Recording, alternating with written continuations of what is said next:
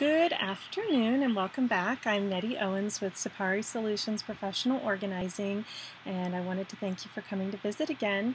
Today I want to talk to you about an event that we have coming up called Organization Plus. It's a seminar offered at the Harford Community College in Bel Air, Maryland. I hope you'll join us. It's going to be a great day, just chock full of information, tips.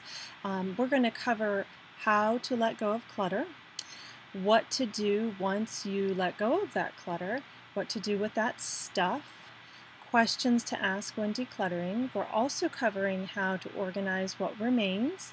We will cover tips and tricks from professional organizers. We're going to talk about how to maintain the space that you've created and how to create new habits, amongst many other topics. So if you're interested in joining us, I hope you will. Um, the event again is 9 a.m. to 3 p.m. this Saturday at the Harford Community College.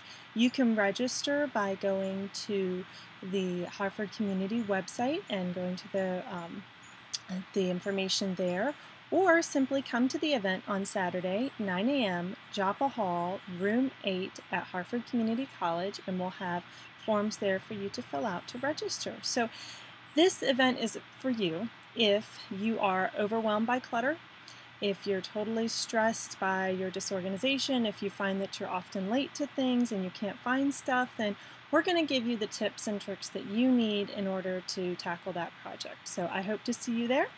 Saturday, this Saturday, July 20th, 9 a.m. to 3 p.m. at the Harford Community College, Joppa Hall, room 8. Bye!